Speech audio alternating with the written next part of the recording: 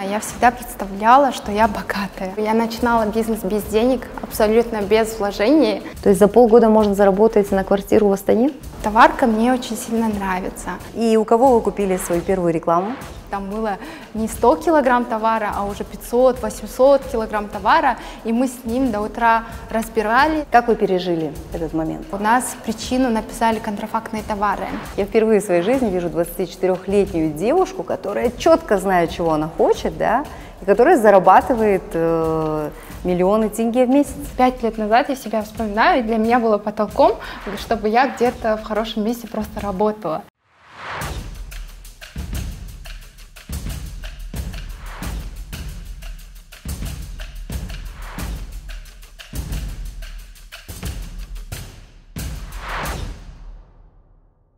Айкерим, вы моя землячка, вы из Жанарки. Да, очень приятно познакомиться. И вы еще жили в Жизлызгане. Да, я прожила в Жизлызгане, закончила там школу, потом поступила в Астану, в университет. Дальше поехала вновь в Жизлызган, я там вышла замуж и через год, благодаря бизнесу, переехала вновь в Астану. Сколько вам лет? Мне 24. Правда, что оборот вашей компании 40 миллионов тенге ежемесячно? А, да, доход растет каждый месяц. В этом месяце, за последний месяц, то есть за август, он составил 43 миллиона.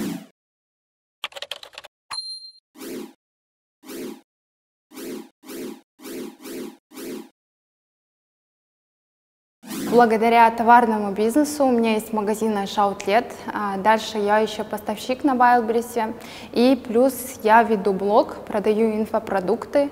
И совокупно все это составляет 43 миллиона. Слушайте, ну это удивительно, конечно. Как молодая девушка в 24 года может крутить бизнес и зарабатывать, ну, то есть иметь в обороте 43 миллиона тенге? Ну, на самом деле, самое классное еще, наверное, это то, что я начинала бизнес без денег, абсолютно без вложений.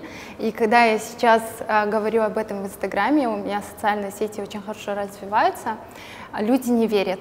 Вначале, получается, я заказывала себе, а, Многим нравился мой стиль, у нас город маленький, люди как-то узнавали обо мне, а потом я решила открыть инстаграм-магазин. А, мы с мужем уже начали активно развивать бизнес.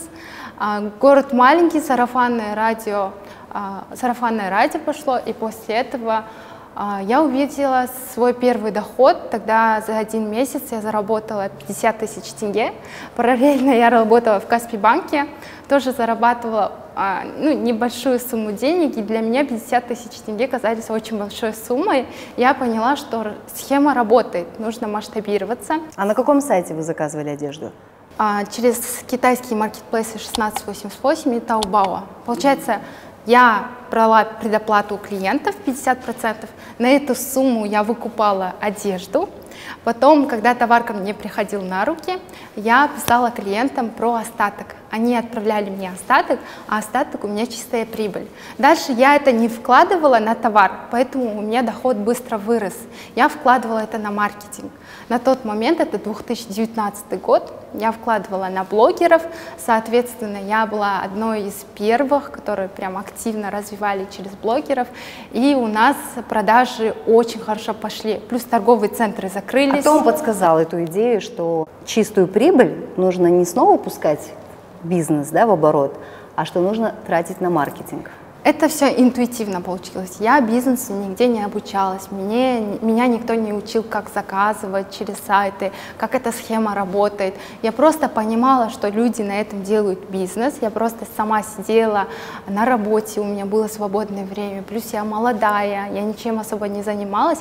Я просто сама сидела, анализировала, раз уж люди этим занимаются, значит это выгодно. И у кого вы купили свою первую рекламу? Я безумно благодарна, даже через это интервью хочу передать. А, я заказывала у Дамели Суит. Она на тот момент мне очень сильно нравилась, сейчас тоже. А, у нее необычный стиль. Как раз таки мы продавали одежду под корейский стиль. У нас прям middle сегмент для тех девушек, которые любят красиво одеваться но, а, в корейском стиле, но при этом за недорого. Она нам сказала, что реклама стоит 80 тысяч тенге, я тогда не зарабатывала так много, возможно, в месяц я зарабатывала там 100 тысяч тенге, для меня 80 тысяч тенге было много, но она согласилась на бартер. Я ей отправила очень-очень много вещей. Она сделала прям классную рекламу. Она прям показала на себе и так далее. После нее в августе в 2019 году был бум. Сколько вы заработали? 500 тысяч тенге после ее рекламы. Май 500 гад. тысяч тенге. И я поняла, а, Это работает. да. В сентябре я уже заказала у Хасен Гульсизм. Мне понравилась именно ее внешность, ее стиль. Сколько у нее тогда стоила реклама? А, у нее тоже было 80 тысяч тенге, но она тоже была согласна на бартер. Для меня это очень выгодно. Я заказала, после нее я заработала, ну то есть а, тут еще подписчики Дамели, тут подписчики Хасен Гульсизм. Я заработала свой первый миллион в сентябре.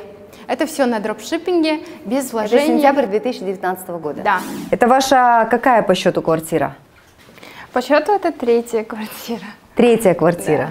А на первую квартиру вы заработали в 2020 году, да? Да, во время карантина заработали за полгода, да. То есть за полгода можно заработать на квартиру в Астане? Да, еще и машину. Еще и машину. Внизу у вас э, новый Lexus стоит. Новый Lexus. Покажем его тоже? Обязательно. Слушайте, а как это? Вот вроде, вы знаете, люди сейчас смотрят, не могут не поверить. На самом деле это реализуемо. Границы только в голове же. Если вы зайдете в мир бизнеса, то уже пути будут раскрываться. Но главное это, знаете, не бросать на полпути и все. В 2020 году очень много людей просили помощи от государства, да, там 42 500, э, там помощь бизнесу, какие-то льготы, кредиты списывались, да. То есть у вас такой потребности не было, вы наоборот заработали. Да, ну говорят, что то, что каждая проблема, хоть в стране, хоть э, в личной жизни, это для кого-то возможность заработать. Вероятно, эта возможность и шанс был для нас. То есть пандемия для вас стала толчком для развития. Верно, потому что все люди сидели дома, у нас был как раз таки интернет-магазин, который закрывал же эти потребности. Тем более это была расценка, если сравнительно с другими, то намного дешевле. Поэтому люди хотели у нас покупать, а мы эту потребность закрывали, тем самым заработали. Ну вот, Саят, сейчас вы работаете в таком же режиме, как вы работали в 2020-2021 году, когда вы зарабатывали на свой капитал? қазір шынымды айтсам жоқ қазір бізде енді өзім ойым басқа уровеньға жеттік.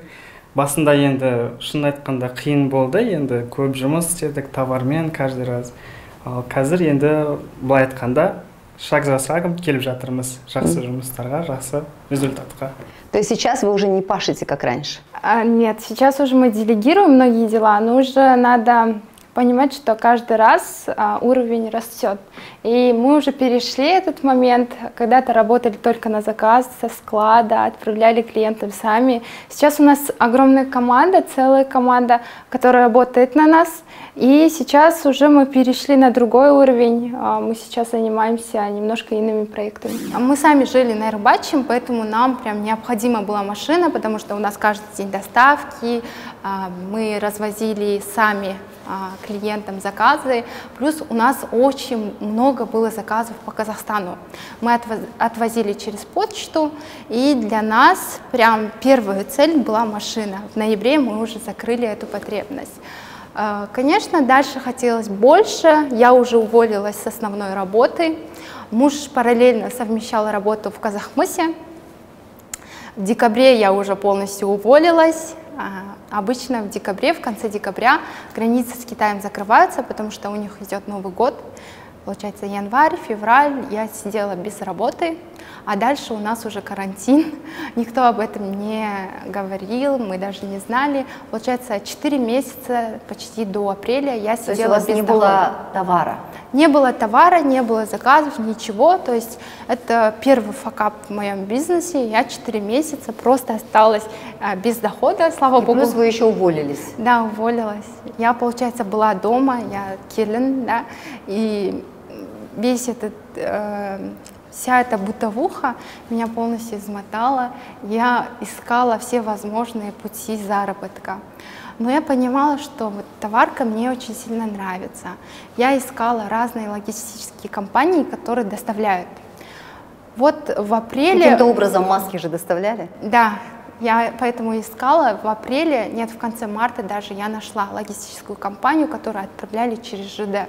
Было намного дольше, не три недели, а уже 40 дней, но все равно я говорила аудитории как есть, я говорила, ребята, если вы готовы ждать 40 дней, то я принимаю заказы.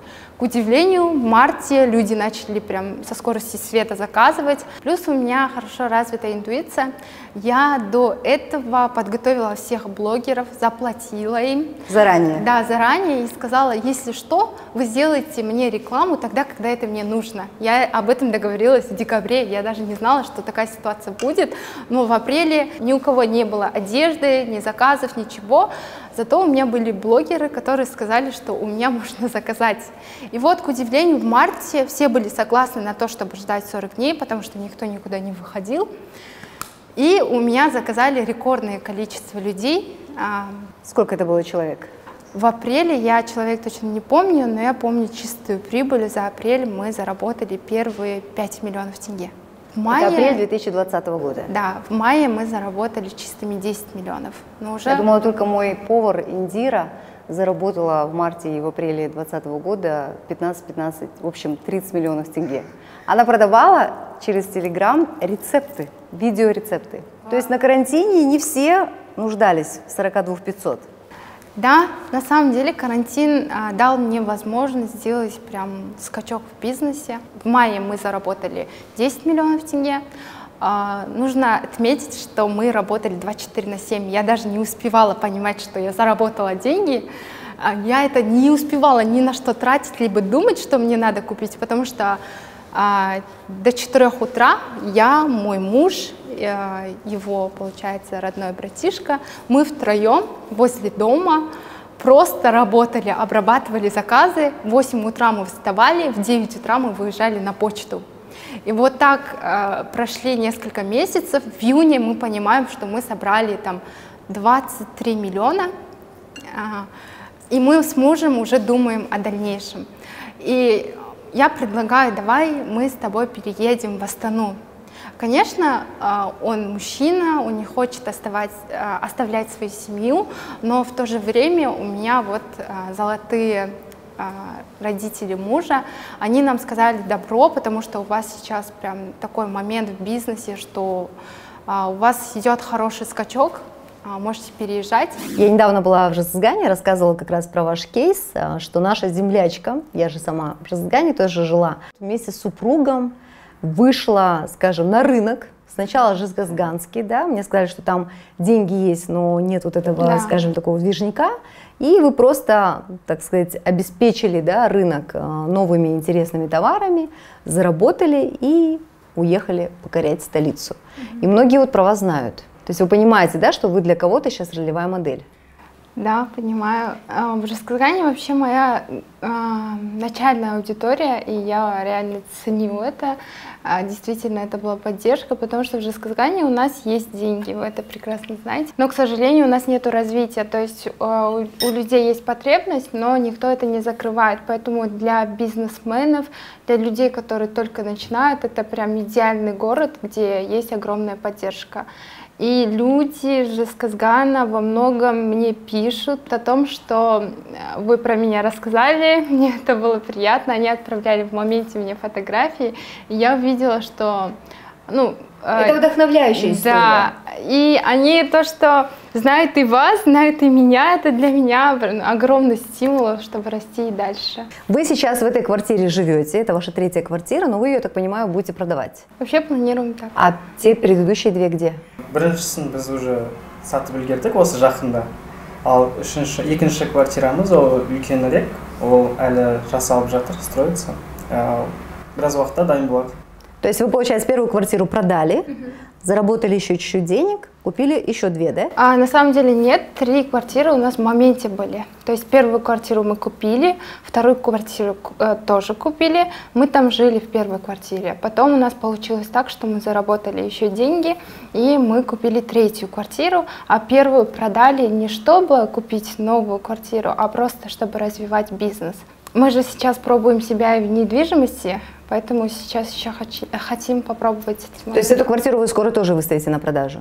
Вообще планируем так, но это после того, как мы переедем во вторую квартиру. То есть вам не сложно, да, вот так вот, допустим, да. сделали ремонт, заехали в эту квартиру, немного пожили, продали и заново?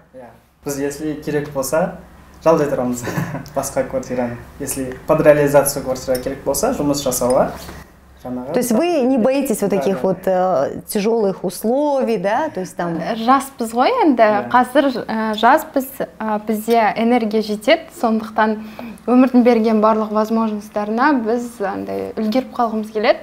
Сондықтан бір жерде жылы жерде отырғаннан гөрі әрқашан жоғары қарай жетеді екен дұрыс деп ойлаймын. Болашаққа жоспарларды қалай жасайсыз? Негізі көп бизнесмендер айтады ғой алдыға бес жылға стратегия болу керек деп. Осыған көп ойланатынмын но э, недавно пришла к выводу что пять лет назад я себя вспоминаю и для меня было потолком чтобы я где-то в хорошем месте просто работала. И сейчас у меня нет определенной стратегии но я точно знаю как двигаться на год. Мне вот интересно как вы с Саятом это обсуждаете? Вот за этим наверное кухонным столом. Да. вы садитесь и строите свои наполеоновские планы. Да. Вообще мы э, легкий на подъем. То есть ко мне, если приходит идея, мы сразу это обсуждаем в тот же день. И у нас есть вот хорошая черта, что мы это не откладываем. Мы с ним То сидим. То есть вы видите действия, сразу да. действуете. Да, у нас нет времени подумать, мы сидим, На следующий день вы сразу начинаете работать. Да, верно. На следующий день сразу начинаем реализовать. Если у нас есть на это капитал, то почему бы и нет. У вас есть онлайн-курс «Как заработать на Wildberries» правильное обучение по бизнесу. Там есть и Китай, и Турция, и Wildberries. То есть можно делать бизнес с Китаем, то есть как вы, да, на каком-то сайте заказывать одежду, и через две недели эта одежда будет в Казахстане. Да. Также в Турции. Я вот, кстати, была на этих оптовых рынках. Ну, это не рынки, это магазины, да, там условно одна рубашка, ты покупаешь там целую линейку, да, там, или футболка, ты покупаешь целую линейку. И на Wildberries, да? да, то есть как продавать. Но я, честно говоря, скажу честно, я разочарована Wildberries потому что мы выставили туда свою одежду, и в итоге половина одежды вернулась, половина застряла на каких-то складах, и мы не можем до сих пор ее забрать, и денег мы так и не увидели. Честно, вот это мое мнение. Многие люди так считают, а потому что Извините, конечно, но перед тем, как зайти на Wildberries, я думаю, что все-таки нужно обучиться. Потому что я сразу своим ученикам говорю, а, с одеждой на Wildberries лучше не заходить. Почему? Потому что очень низкий процент выкупа, плюс а, то, что... То есть люди заказывают, примеряют, не понравилось, отправляют назад? Да, отправляют назад, плюс теряется товарный вид. А, вообще процент выкупа на одежду составляет где-то 10-12%, то есть у вас заказали 10 человек, из них купил только один. И то вот эти 9 у вас потеряли товарный вид, и плюс к этому вы каждый раз будете оплачивать на логистику. Да. То есть еще и клиента, хранение ты оплачиваешь. Да, за хранение. В общем, я разочаровалась и решила, что с Wildberries мы ушли. Ну, это преждевременные, наверное, выводы. На Wildberries... Нет, ну что хорошо на Wildberries продается? А, вообще продается все хорошо, даже женская одежда хорошо продается, но лучше зайти это тем, кто мировые гиганты, например, там бренд Твое, да, Манго и так далее. Но если вы тот человек, который только начинает, лучше проанализировать нишу. Например, а, какие-то специфические товары с классным УТП, то есть уникальное торговое предложение, например, зоотовары, да, товары э, для дома, а именно конкретно нужно проанализировать и выходить с такими товарами. Но плюс там есть еще стратегия по маркетингу. Вы тоже торгуете на да, Wildberries? Чем торгуете?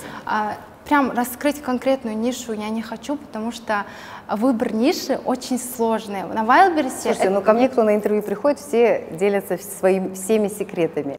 Смотрите, на Wildberries а, аналитика занимает очень много времени. И каждый раз на Wildberries растут поставщики.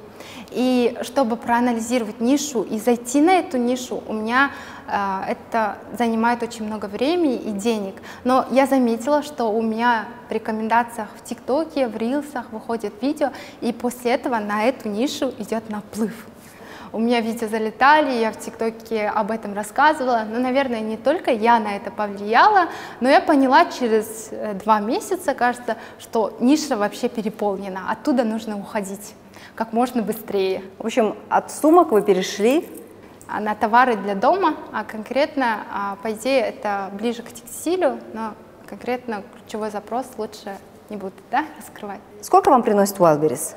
А чистыми приносит в месяц где-то 3 миллиона, потому что на Wildberries очень много расходов, таких как логистика, процент комиссии и так далее. Но там нестабильный доход. Максимально Wildberries мне принес 7 миллионов, а сейчас в среднем 3-4. Но я собираюсь еще масштабироваться там, а, туда, чтобы зайти, грамотно зайти, лучше иметь партнеров. Недавно заблокировали вашу страницу, именно бизнес-страницу. Да. Для современного бизнесмена потеря аккаунта, где тысячи подписчиков, да, у вас десятки тысяч подписчиков, ну, это как потерять, я не знаю, там большую сумму денег. Это действительно так. У нас продажи упали в 10 раз. Если мы раньше в день продавали за, на 800 тысяч тенге. В день? Да, на 800, на 500 тысяч тенге, это в среднем. А, мы а, на этот раз даже не продаем на 50 тысяч тенге, потому что офлайн точка это не наш основной трафик, тем более Астана это не наш основной трафик. Как я ранее говорила, я бизнес развивала и в Жесказгане, и через блогеров, которые живут в разных городах. А, у нас основной трафик был с Инстаграма, и потеря Инстаграма на меня повлияла очень плохо я даже расстроилась, я даже задумываюсь закрыть проект, потому что я вкладывала на это три года жизни, это очень много денег, это большой труд, и сейчас я даже думаю, что могу ли я быть такой же сильной, как была три года назад, да. И да, действительно, сейчас мы проживаем большой факап в бизнесе, для меня это трудно, но я в любом случае знаю, что у меня не отнять а, мой а опыт. как так получилось, что вы лишились страницы? Прошли по какой-то ссылке? Нет, на самом деле нас заблокировал сам Инстаграм. А, иногда такое бывает. Вы, наверное, часто встречали в Инстаграме, что у многих такое случилось. А, нас заблокировали из-за таргета неправильного. У нас одна сумка была похожа на бренд, хотя там no name, нету никакой названия. А, из-за этого у нас причину написали контрафактные товары. А когда так пишут, почти страницу вообще не восстановить. Восстановить невозможно. Да. да. Я написала, я обратилась к 10, даже больше 10 программистов со всех СНГ, не знаю, со всех стран. Они все сказали, что, к сожалению, восстановить или помочь мы вам не можем. Как вы пережили этот момент? Я еще проживаю этот момент, я еще до конца не приняла это.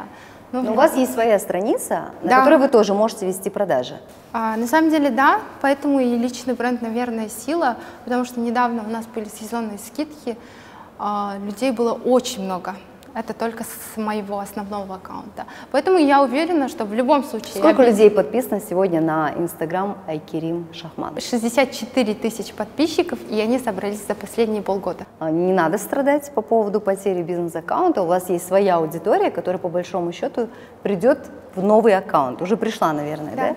Приходит. Откуда такая страсть к бизнесу? Потому что в вашем возрасте молодежь стремится получить там второе образование, да, там кто-то до сих пор учится, а вы вот прям в бизнесе. Я люблю деньги, не то что деньги, чтобы иметь роскошь, а деньги, а, чтобы, а именно за то, что дает а, мне такую возможность и путешествовать, и помогать, и не отказывать себе ни в чем. А, я вообще с детства, наверное, была так воспитана, я всегда представляла, что я богатая. Не знаю, как это прозвучит, но я всегда считала, что я вот а, выросла, я богатая, у меня берут интервью, и сейчас я проживаю этот момент. А, наверное, все идет с мышления, да, я всегда себе говорила, что я такая. Для меня важно, чтобы люди вокруг меня, это мои близкие, имели возможность жить в комфорте. Расскажите про своего супруга, потому что вы же вместе делаете да. бизнес. А, мы с ним поженились, когда мне было 21. На самом деле я сразу, получается, закончила университет, вышла замуж, мне многие говорили, что это очень рано, надо поработать и так далее. Но это был самый удачный момент в моей жизни, потому что начался новый этап. Мы с мужем, как поженились, а, сразу перешли на новый уровень. Мы начали думать, как развиваться дальше, как иметь свою квартиру, машину и так далее. Он тот человек, который поддерживает меня во всем. У меня были провалы в бизнесе э, и так далее, но он всегда поддерживал. И тогда, когда мы принимали э, на заказ товары, э, он еще работая в Казахмысе, а вы, наверное, знаете, что в Казахмысе работать э, нелегко, он работал в промышленности, приходил с работы, дальше со мной разбирал а, эти коробки, бесконечные коробки, там было не 100 килограмм товара, а уже 500-800 килограмм товара, и мы с ним до утра разбирали, дальше он еще уходил на работу. Ну, то есть я ему безумно благодарна, у нас идет э, совместный рост, у нас нету такого, что ты главный в семье или я главная, вот такие... Партнерские взаимоотношения. Да. Э, какие-то устаревшие устои у нас такого нету. У нас все. Вы ровесники? А, ему 26, мне 24. Слушайте, но не каждый молодой человек может купить себе в 24, ну даже в 26, да, квартиру. Да, действительно, сейчас... То есть а, вы не ждали, что вам купят родители квартиру, вот мы будем жить отдельно, потом они нам машину подарят? Мы изначально трезво оценивали а, свою ситуацию. У нас родители, они а, среднестатистическая семья да, у нас, и мы трезво оценивали, что сейчас наша возможность, мы должны, наоборот, давать родителям возможность, чтобы стареть в комфорте и так далее. Поэтому мы с ними решили, что будем заниматься товарным бизнесом, но прошли года, да, мы уже более взрослые, у нас растет бизнес, масштабы, команда. Сейчас у каждого, у него тоже есть а, свое направление в бизнесе, у меня тоже есть. Вы сказали, что вы не учились бизнесу. Да. Сейчас не чувствуете, что все-таки, да, ты в бизнесе, да, у тебя оборот компании там 40 миллионов тенге, но что все-таки знания нужны? Знания нужны, да. Сейчас я периодически прохожу консультации, а, но на самом деле я практик. Обучаться долго я чему-то не могу. А, я тот человек, у меня есть такое качество, не то что восхваливаю себя, я просто о чем-то задумываюсь, э, придумаю какой, какой-то проект, просто беру и делаю. То есть вы человек действия? Да. Здесь у вас трехкомнатная, да, квартира? Это двухкомнатная. А, двухкомнатная? Да. Такое ощущение, как будто она большая. Сколько здесь квадратов? Здесь 52, кажется. 52 квадрата? Слушайте, такое ощущение, как будто это огромная квартира, да? Малышки нет дома сегодня. Да, она в садике. Ну, у вас как-то не обжито. Почему?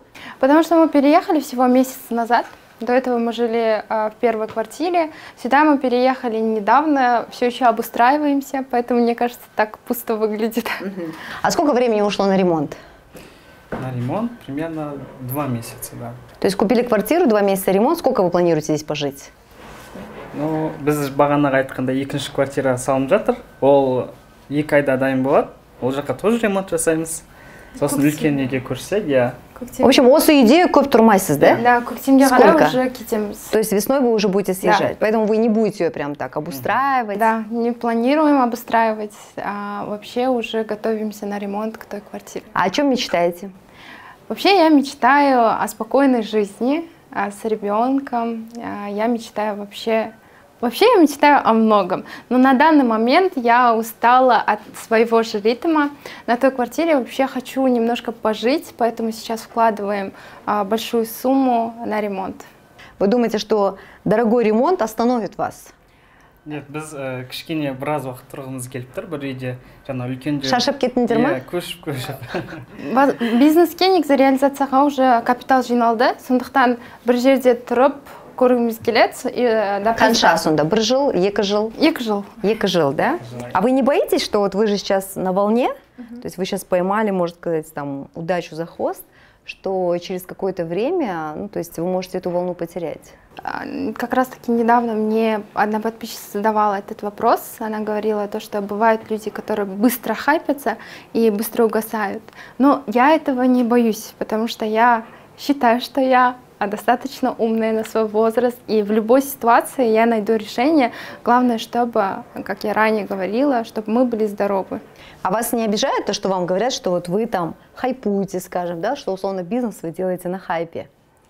Говорят, у меня Инстаграм про деньги, поэтому у меня негатива очень много, но в любом случае я еще получаю такие сообщения, где пишут, что благодаря вам я вышла из зоны комфорта, начала что-то делать, и таких сообщений куча. Я понимаю, что я делаю, наоборот, мир лучше. Я а, даю возможность людям понять, что все в наших руках. Поэтому меня вообще не огорчают такие комментарии. Я впервые в своей жизни вижу 24-летнюю девушку, которая четко знает, чего она хочет, да, и которая зарабатывает э, миллионы тенге в месяц. Я всегда свои э, цели обозначаю датой и временем, и цифрами. Поэтому я думаю, скоро... Они у вас где-то развешаны по дому? У меня всегда с собой блокнот, по дому не развешиваю, я не хочу, чтобы на это каждый день смотрели, но я имею четкий дедлайн, и четко я всегда достигаю того, что хочу. Ну, миллион долларов я не знаю, возможно, через год. С мужем помимо бизнеса что обсуждаете? Мы всегда обсуждаем саморазвитие. В последнее время нам очень интересная тема – это духовный рост. Не в плане денег, мы хотим еще быть по, по жизни хорошими людьми. Мы недавно съездили в Африку, а, только неделю назад прилетели оттуда. Мы провели там 10 дней, а, за эти 10 дней а, у нас полностью поменялось наше мышление. За эти 10 дней мы получили те эмоции, которых не получали никогда. Многие в Инстаграме особенно осуждают меня, зачем я туда поехала, когда есть Казахстан, когда есть Турция или Мальдивы.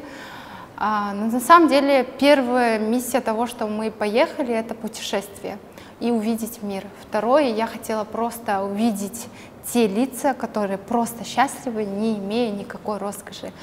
Целом мы хотели немножко приземлиться, и поэтому решили туда поехать. Расскажите о своей дочери. Ребенок – мое благословение. А, вообще, осы баламның несібесі өте жоғары. Потому что когда я только узнала, что я беременна, у меня пошел скачок в бизнесе. Когда я родила, у меня пошел скачок в блоге. И сейчас всегда она находится рядом, все удивляются, что с ребенком же тяжело работать, тем более в бизнесе. Но, слава богу, сейчас она уже ходит в сад, ей полтора года, ее зовут Мира. Не рано вы отправили ребенка в садик?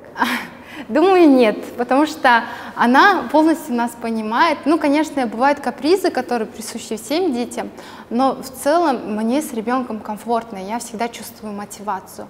Поэтому я безгранично благодарна, что в своем возрасте я имею и бизнес, и ребенка, и при этом совмещаю. Вообще говорят, очень сильно на людей влияет среда. То есть вот ваши друзья семейные, это тоже люди из бизнеса? У нас очень мало друзей, потому что мы очень много работали, плюс а, вообще родом мы же из Жесказгана. Тут у нас нету ни родственников, все наши родители живут в Жесказгане, все наши друзья там живут. Вот. В основном сейчас, в последнее время, я очень часто знакомлюсь с предпринимателями, особенно влияет блог на мое развитие, на наше развитие. Что больше всего набирает просмотров, откликов, комментариев, дает фидбэк в вашем блоге? Тема денег. Тема денег всем интересна, особенно когда затрагиваешь цифры. Это своего рода, возможно, и хайп, но это дает жесткую То есть вы мотивацию. видео «Я заработала в этом месяце 43 миллиона тенге». Так не делаю, но я делаю, возможно ли заработать 1 миллион тенге, нет, правильнее, возможно ли продать на 1 миллион тенге только через Инстаграм. Типа такие ролики делаю, чтобы люди, которые имеют бизнес, вдохновлялись. Сколько максимальное количество просмотров у вас было в Инстаграм и в ТикТоке? В Инстаграме 3 миллиона просмотров а, в рилсах. Обычно мои видео часто набирают миллион просмотров, а, на той неделе видео с мужем залетело на 1 миллион просмотров, а в ТикТоке тоже 1 миллион просмотров максимально. Вы умеете анализировать, я поняла. Я думаю, что ваш успех, наверное, вот именно благодаря вашему аналитическому складу ума. А что хочет Инстаграм? Вообще в рилсах то же самое, как и в бизнесе, существует аналитика. И тут я как раз-таки тоже анализирую. Я а, анализирую и в Ютубе, и в ТикТоке, и в Рилсах анализирую. Вообще социальные сети заключаются именно в аналитике. Я понимаю, что а, можно иметь миллионный аккаунт, но при этом вообще не зарабатывать. Либо зарабатывать там максимум 1 миллион тенге. Но при этом можно еще иметь а, аккаунт, где ваша целевая аудитория, на них можно зарабатывать намного больше. И что нужно делать с этой аудиторией? Вообще целевая аудитория заинтересованная конкретно в бизнесе, поэтому я им рассказываю а, полезный контент, плюс я а, показываю то, что я точно такая же, как они, чтобы мы были близки. Я показываю, что у меня есть ребенок, что у меня есть муж, я с маленького городка, и я все успеваю. Самое главное, что от меня хочет аудитория, это мотивация. Вот. Поэтому нужно почаще снимать рилс, тем более сейчас, когда рилсы актуальны, почаще делать полезный контент, но при этом обязательно совмещать это с лайфом, чтобы у вас не обрывалась связь с аудиторией. Шикарный, роскошный Lexus. Во сколько он вам обошелся? 47 миллионов. 47 миллионов тенге. То есть он не новенький, я так понимаю, да? да? не новый. Айкерим, почему для вас важно было купить именно Lexus? Можно же было купить еще одну квартиру? Это моя детская мечта. Я всегда говорила, у меня, почему у нас в семье нету такого большого джипа. Я всегда мечтала, я хочу просто закрыть эту потребность. На То самом есть вы деле, сейчас да. закрываете гештальт, да, получается? На самом деле это не первая потребность человека, я понимаю, но все равно хотелось. бізге үлкен покупкалар каждый раз мотивация келеді сондықтан бізбен қоймай ол подписчиктерге тоже қызығып мотивация келеді ары қарай жұмыс істеуге сейчас видите даже приобретая там автомобиль по сути ты создаешь контент да? Ну вы что, будете, поедете немного на этом Лексусе, потом продадите его? А, ну это точно неизвестно. Даже если я продам, я думаю, что найду более удобную машину. Ну, То есть сейчас вы просто хотите почувствовать, что такое Lexus? Да, хочу. И как ощущение, Саед? Ну, очень классно. Знаете, хорошему быстро привыкаешь. А что сейчас приносит больше всего дохода? Ну, нужно понимать, что все равно рентабельность у инфопродуктов, она высокая. А, я запуски делаю не каждый месяц, но при этом, если я делаю а, обучение, то я зарабатываю на обучении намного больше. Но нужно понимать, что это а, не ежемесячный доход. Возможно, я буду делать запуски каждые два месяца, возможно, и три. Но если так посмотреть, основной доход мне всегда приносил именно магазин Айша Outlet. Вот я заметила, что, как правило, вот самый первый бизнес, он самый фартовый, да, человеку приносит по большому счету первый миллион, его первый бизнес. Но потом человеку мало, он начинает оглядываться по сторонам, смотреть, какие еще ниши существуют, и он начинает э, свой, свое внимание, да, то есть у него такой расфокус получается, да, то есть он сюда смотрит, сюда смотрит, и вот его первый бизнес начинает страдать, потому что меньше внимания он получает. Вот сейчас ваш торговый бизнес нормально развивается? Такой момент, наверное, бывает у каждого предпринимателя. Я помню, помимо Айшаутлет, я же в Айшаутлете работаю именно с Китаем, я еще создавала второе направление, это Айшаутлет Турки. Та же самая схема, без денег, без ничего. Я принимала заказы на обувь а, с Турции. А, тут маржа намного выше, с, одной, э, с каждой пары обуви я видела примерно 20 тысяч тенге. Для меня это прям крутая сумма, потому что в Китае, чтобы заработать 20 тысяч тенге, я должна продать как минимум там, 8 сумок. Да? Вот. Э, но тогда у меня действительно получился расфокус. А если совокупно в Ашаутлете я зарабатывала там, 10 миллионов, тут я заработала 1 миллион тенге, хотя если бы я только занималась шаутлетом, я бы зарабатывала бы намного выше.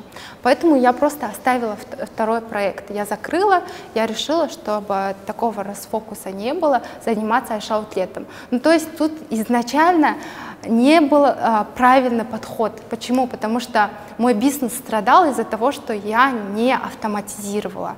То есть у меня не было команды, у меня не было сотрудников, и я хотела еще заниматься другим бизнесом, лишь бы заработать больше денег. Но это было неправильно, зато на ошибках учатся. После этого я пришла к тому, чтобы делегировать моменты именно в аутлете, а потом переходить на другую нишу. Акирим, вас слушаешь, кажется, что все так легко, да? Вот вы вышли замуж, Э, тут решили с мужем заняться бизнесом, да, зашли на какой-то китайский сайт, да. На самом деле я примерно представляю, что там на китайском сайте заказал, да, потом сидишь и думаешь, так, придет товар или нет, знаете, потом может тебя ждать ожидание реальность, да, то есть там условно ты ждешь какой-то красивый жакет, придет вообще там, не знаю, что-то похожее на жакет, да. То есть у вас были случаи, когда вы просто теряли деньги? Да, конечно, были. Бизнес – это риск, к этому нужно быть готовым. можно примеры конкретные? А, я во время карантина заказала 500 а, килограмм товара, это все заказы Это вы в килограммах, да, считаете? Да, в килограммах. Не так вот 10 рубашек, 100 там свитеров. Я заказала миллион килограммов товара. Я... Потом мы с мужем это все разгребали. Да, я заказала, а, получается, это был момент карантина, тяжелая доставка, и это все заказы клиентов, то есть я уже, они мне уже заплатили, но заказ так и не пришел, мы ждем месяц, я успокаиваю клиентов, ждем второй месяц, проходит третий месяц, товара так и нет. Я сделала всем возврат, совокупно это, наверное, предоплата где-то на миллион, миллион полтора. Но и куда я, сейчас ваш товар? А, к сожалению, потерялся? бывают недобросовестные логистические компании, и да, мой товар потерялся. На миллион тенге? Да, на миллион тенге. Но в бизнесе нужно быть всегда эм, шустрым, надо уметь выбирать, с кем вы сотрудничаете и работаете. К сожалению, на тот момент это я только начинала, у меня были такие ошибки. Сейчас Плюс... у вас надежные, да, логистические да, компании, надежные. надежные сайты. А вот китайские сайты, они не обманывают? А вообще китайцы — это те люди, которые намного, намного лучше, справедливее а, нас. Порядочнее? Порядочные, да, потому что они, если что-то заявляют, они это делают. Мы делали и под а, заказ, то есть на мой дизайн а, какой-то товар, то есть это не то, что висит в интернете, да, мы с ними просто обсуждали через переписку, например, такая длина, такой материал и так далее, и они мне это сделали безупречно прям классно сделали, хотя мы договаривались только в переписке. Поэтому работу с Китаем просто надо Это изучить. Вы на каком языке с ними переписываетесь? Мы с ними переписываемся всегда на китайском, просто говорим, что мы используем э, переводчик, поэтому они используют То базовые есть вы ведете слова. бизнес через Google переводчик? На самом деле, да, если так посмотреть, да. И они то же самое? Они отвечают на своем китайском, потом вы опять в Google переводчик? Да. То есть и для вас это норм? Для меня это норм. Самое главное, что... Вы уже начали учить китайский? А, нет, к сожалению. Почему? Не знаю, просто пока что у меня на это времени нет, но вообще в будущем, когда я... Слушайте, вы уже столько лет сотрудничаете с Китаем, уже пора учить язык. Да, буду. О чем вы мечтаете? На самом деле в последнее время я не мечтаю о деньгах прям сильно, потому что все базовые потребности мы закрыли. Э, денег, конечно, много не бывает, потому что деньги — это инструмент. А, я об этом еще обсуждала в блоге, то, что деньги дают нам возможность помогать, совершать благие дела.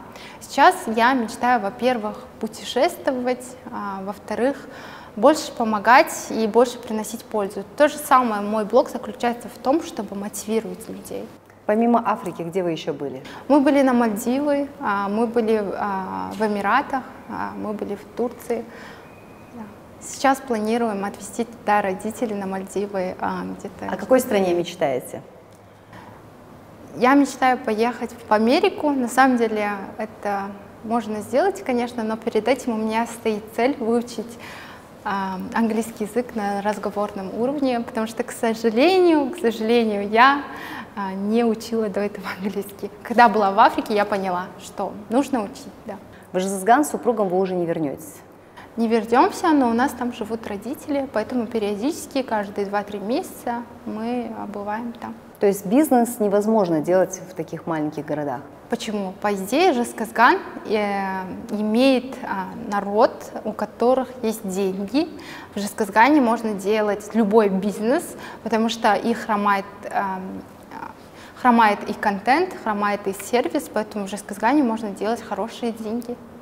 Но вы решили покорять столицу. Да, решили покорять столицу, да, потому что я училась тут 4 года, я привыкла к такому ритму, и я хотела, мой муж тоже хотел, чтобы наш ребенок в будущем рос в таком городе. Ну, я ни в коем случае не говорю, что Жесказган плохо, я выросла там, у меня очень хорошие друзья, у меня родители там. Я люблю всем сердцем этот город.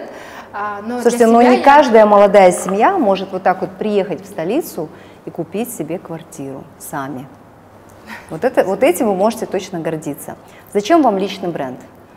Личный бренд сейчас в 21 веке, особенно последние годы, показал нам, что это качает. Какой бы я бизнес ни строила, за мной есть, я уверена, что за мной есть моя аудитория, которая всегда меня поддержит. Личный бренд в первую очередь влияет на мою самооценку. Личный бренд — это сила. Сейчас а, даже под каждым бизнесом не стоит какой-то блогер, сейчас стоит предприниматель. Поэтому для меня это было важно. Раз полгода назад, в январе, я как раз таки решила, что буду этим заниматься этот год. И да, у меня это более-менее хорошо получается.